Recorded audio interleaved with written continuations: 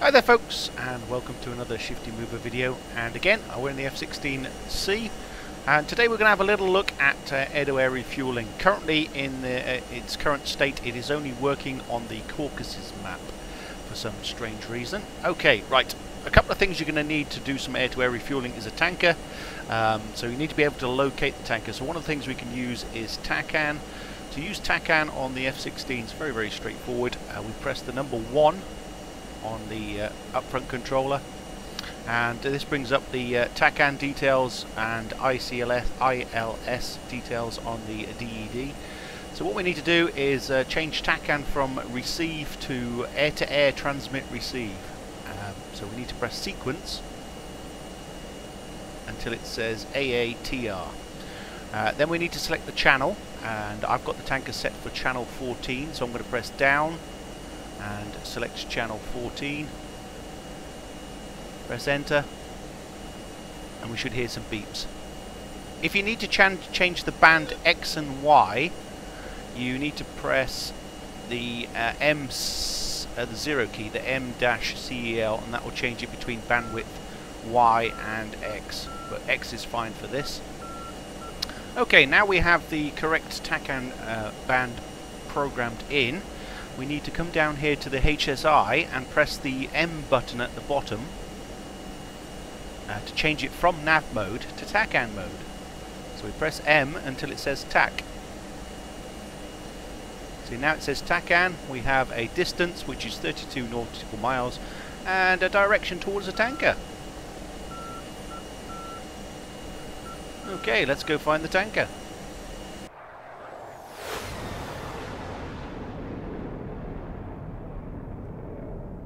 What we also going to need is to uh, change the radio.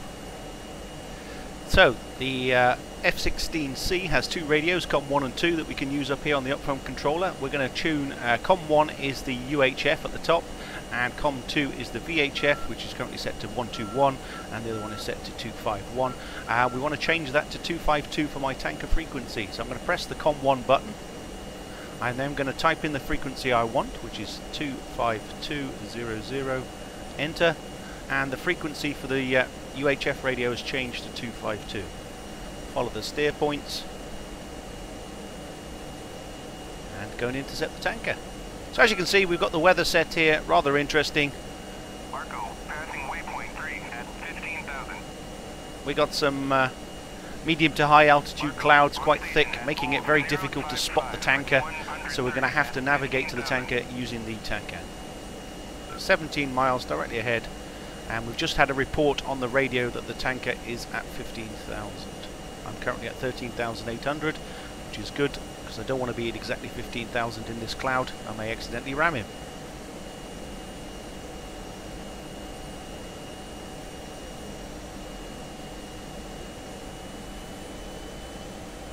Just going to change the bingo fuel warning so I'm going to press the list button and we have a, a, list of options here and bingo is on number two. I'm going to change the bingo fuel warning down to 1000 and then press return.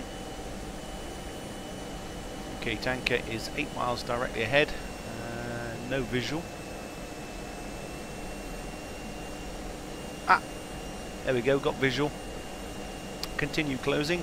Now I'm going to contact the tanker, let him know I'm coming, and because I have drop tanks on, we're going to open up the uh, fuel port already, which is this switch here, which is air refuel. I'll just zoom in so you can see it.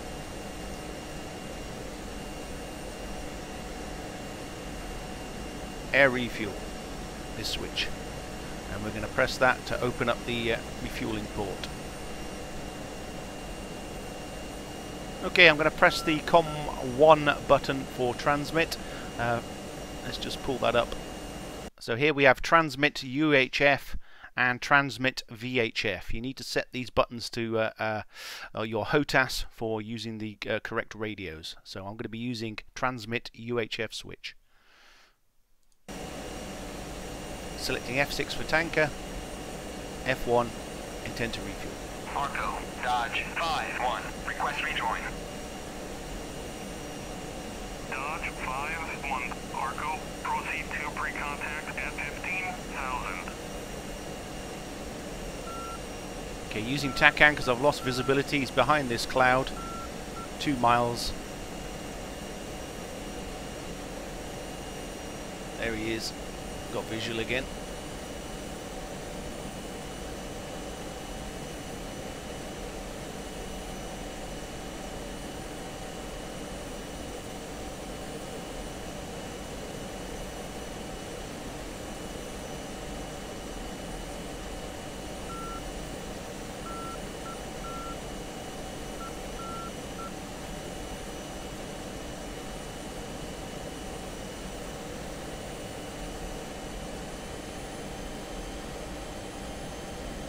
Miles ahead.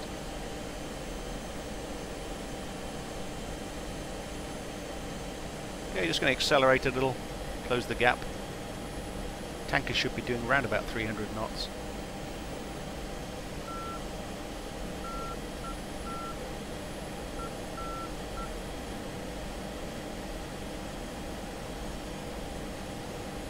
Okay, overall fuel 7,800.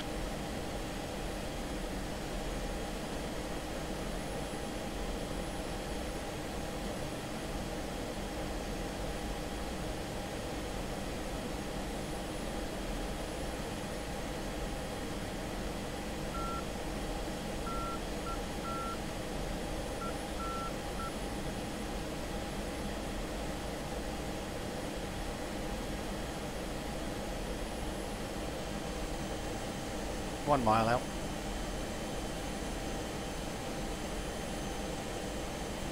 So now we're going to close up to the tanker's left wing, get in formation with him, and get ourselves nice and settled. Move in behind the uh, the boom and tell him we're ready.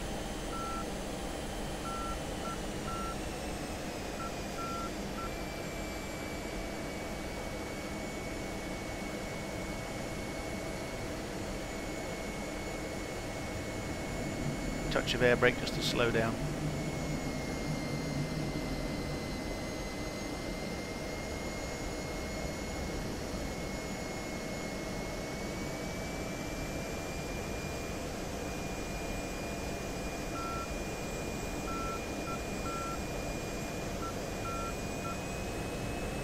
Okay, down, drop down to 304.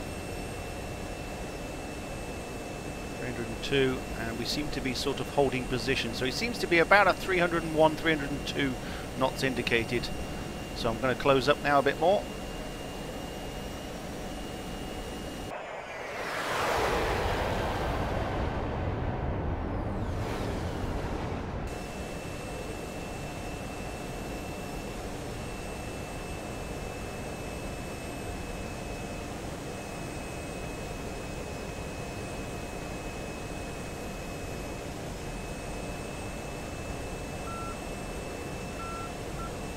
Okay, move in directly behind the boom. This sort of distance, you then tell him you're ready. Ready for contact. Cleared contact. Okay, cleared contact, which means move into position. Now we're using the lights underneath the nose of the tanker to get ourselves into position, which you can't see from here. So just fly yourself into position, and then once you get close enough, you'll be able to see the lights. Just watch the boom on the way in. It will lift up out the way once you get close enough. But uh, just uh, fly slightly inside or outside of it while you're making your initial approach into the light area.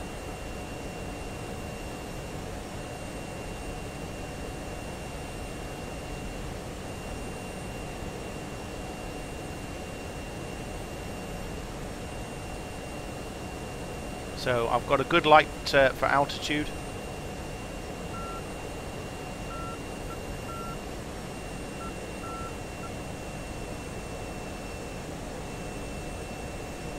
Just need to move forward.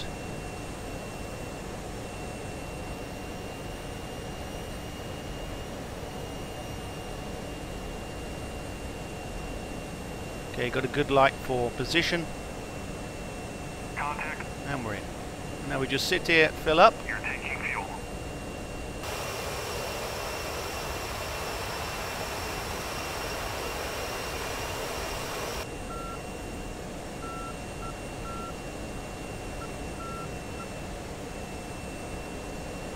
keep an eye on the lights.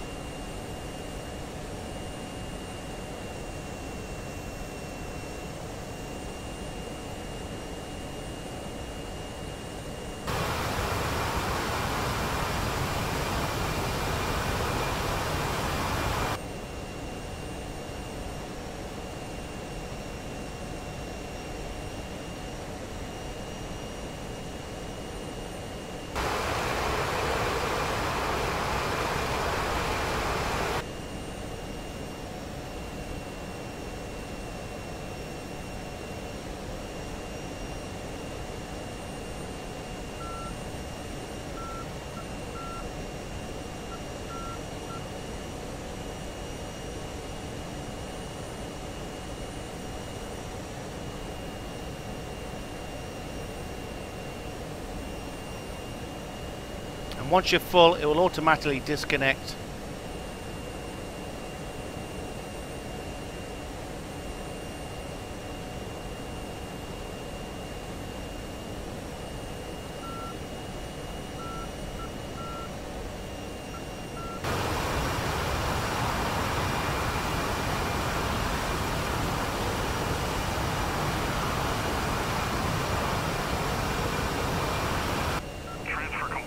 And then you need to slow down and drop down to avoid the boom on the way out. Check position behind you and then drop back, form up on the right hand side. Make sure you close the uh, refueling ports.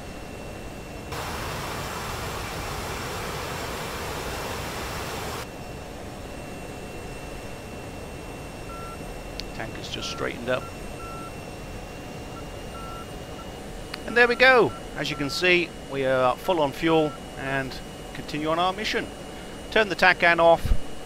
We select uh, number one on the keypad and then select uh, sequence back to receive and the TACAN is now off. And we can continue on our mission. Thanks for joining me. Hope you found it uh, useful, interesting, and uh, bye for now.